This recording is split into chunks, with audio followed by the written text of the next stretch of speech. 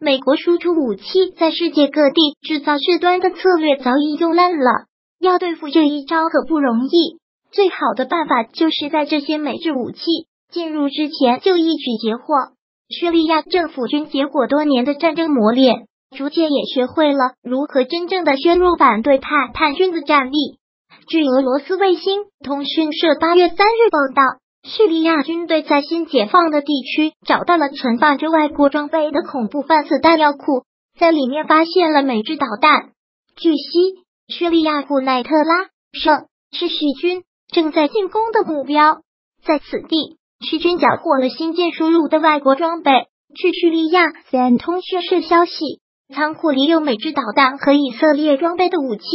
包括著名的陶式反坦克导弹，这些缴获的武器表明，即使战争打到现在这个地步，美国仍然在向武装分子提供重型武器对抗政府军。叙利亚战争打到现在，战争局势胜负已分，叙军的攻势已经不受反对派武装阻挡。叙利亚全国绝大部分地域已经被解放，重新建设国家的事务已经可以开始考虑。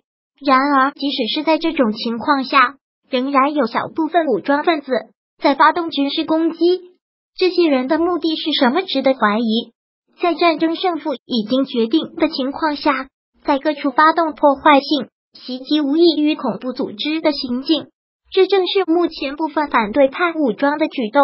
这些人的目的就是制造破坏，阻止国家的和平到来，给人民造成更多痛苦。谁在背后操纵这些人呢？只要看看谁能从这些活动中收益便知。一个和平稳定的叙利亚不是美国愿意看到的，即使不能扶持亲美势力操纵叙利亚，那么一个混乱破碎的叙利亚也是美国愿意接收的。目前，美国的政策是继续军事援助恐怖分子，力求破坏叙利亚的和平统一。这样的做法符合美国利益。能让俄罗斯继续受到牵制，因此投入些武器和资金在这里挑事。美国眼睛都不眨一下。此前，美制武器在叙利亚被政府军缴获的次数实在不能太多。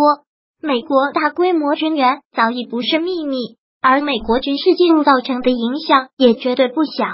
在六月份，美国公布的美军军事行动造成的平民伤亡报告里。自己都承认美军在叙利亚等国的军事行动，年均造成的平民死亡超过五百人。自己的报告都承认如此之巨的数字，实际情况恐怕要严重很多倍。结合多次美军对政府军所谓的误炸，我们可以得出结论，那就是美军为了支持恐怖分子，在叙利亚不惜犯下战争罪行，一边做恐怖分子的幕后支持者。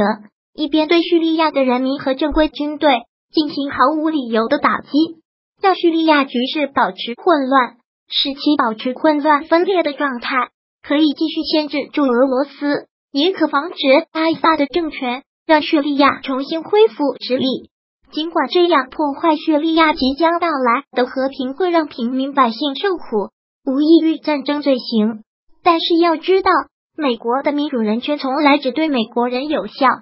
对别国人民的死活，华盛顿是毫不关心的。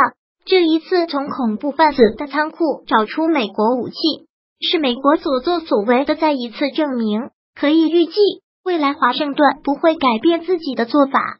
想让叙利亚人民早日安定，求美国助手是没用的。